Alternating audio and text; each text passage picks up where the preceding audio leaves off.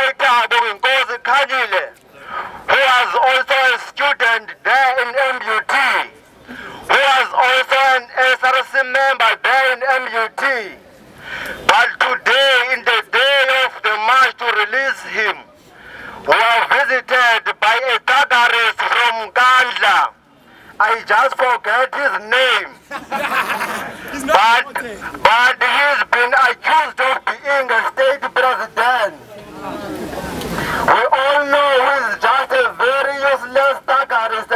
Rapist. who is who's mushrooming around our institutions, preaching the word of corruption. We are here to support Bonginkosi Khanyile because we know and we believe from that fighter that comrade will never compromise the revolution. He will never relent. He will never equivocate.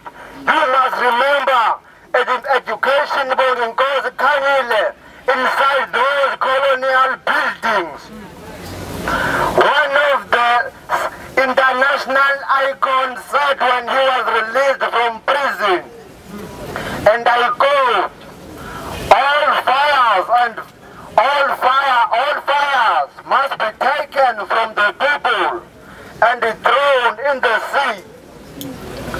At the moment every minute, but he said all fires must be taken from the people. We all know that is the international sellout. Education will never do that. Education committed himself from the revolution, even inside the prison.